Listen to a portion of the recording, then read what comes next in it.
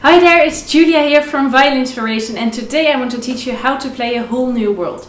I just showed you the notes and if you would like to have some extra information about the notes you can download the sheet music below.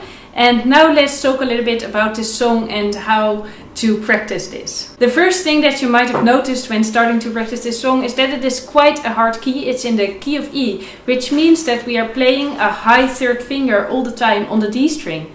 So you might not have noticed and in that moment it sounds like this.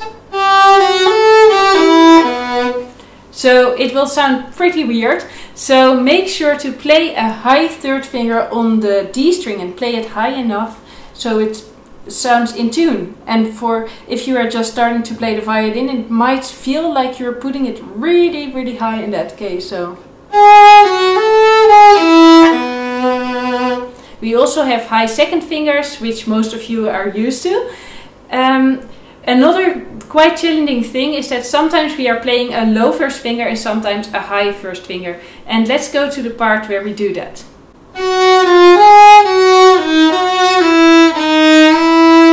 So in this part, I play a first finger three times on three different places. The first time I put my first finger on the place where I normally put my low second finger, so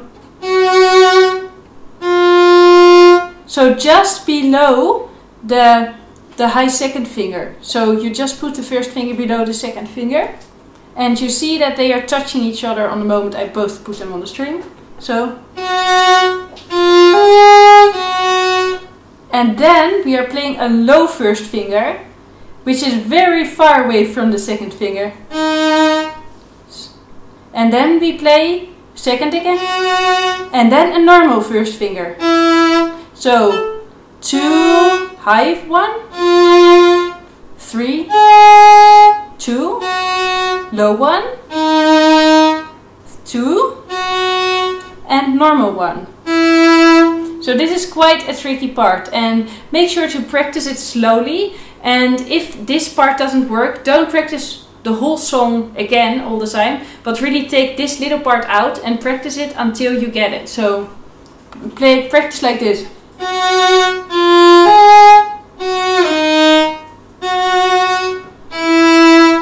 And then you're doing it again.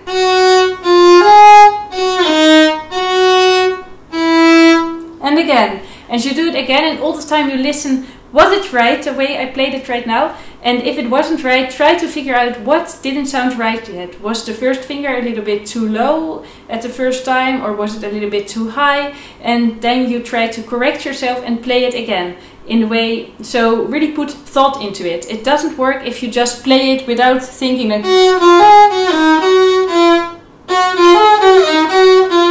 you know, like you are playing it wrong all the time and you are not really paying attention to what it actually sounds like. Another thing that can help is to record yourself when you're practicing and look back and see like what do I want to um, improve right now.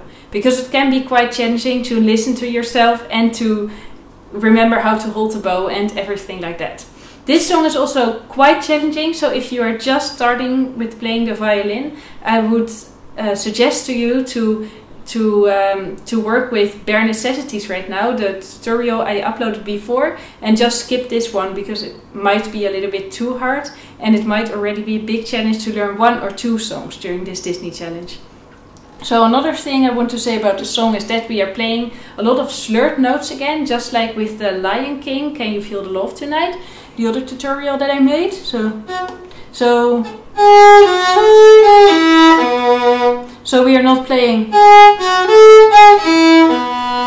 but we are trying to play legato and we try to bind all the notes together so it sounds like a little bit romantic and I think this is a very romantic song. So, And for those of you who already play vibrato, there is this long note in the refrain and it is really beautiful to put some vibrato onto that one.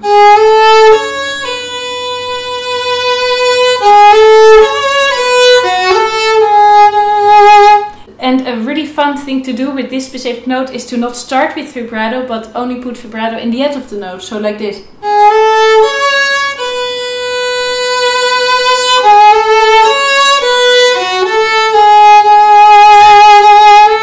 And I think this sounds quite beautiful to um, to make your vibrato larger all the time. So to start with no vibrato and make more vibrato all the time. Of course, this is the same with the second part of this song. In the second part of the song, we are repeating the whole song, but we are playing it in another key. So the first time we are playing it in the key of E, and the second time we are playing it in the key of G, which is actually a little bit easier. So if you just started to play the violin, you can also just play it in the key of G. Um, and then we have this.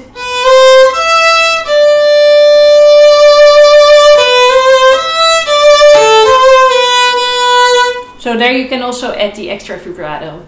Also, if you are working with this sheet music, you might have noticed that I play the rhythm a little bit more freely than you can see it on the sheet music. Sometimes I am playing the song more like they sing it as that they put it down in notes on the sheet music because I personally prefer to play the songs like this.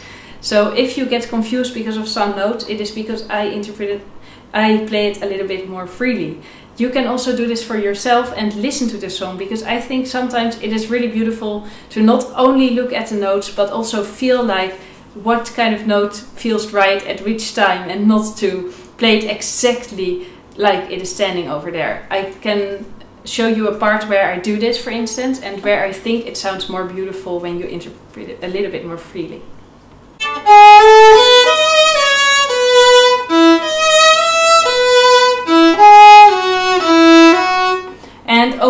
I played a little bit more like this instead.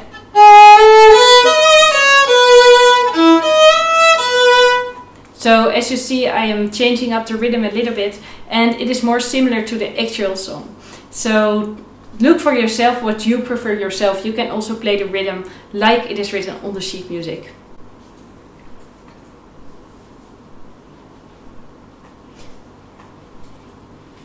Another tricky part of these songs are the triads. I believe it's called triads in English. And it is those notes where you see this little three above it. So it is da da da da da da da da da da da da. So these notes like d d d that you hear all around the song. And they are quite tricky because they are three notes played in the time of two normal one beats. So so you are so the rhythm would be like this if I would clap the rhythm on my um, uh, pants. One, two, three, four, one, two, da da da, one, two, three, four, one, two, da da da, one, two, three, four, one, two, da da da, one. So as you see, it's it's quite a challenging rhythm and you can also practice it just by clapping for a few times with this video like da da da one two three four five. Da da da.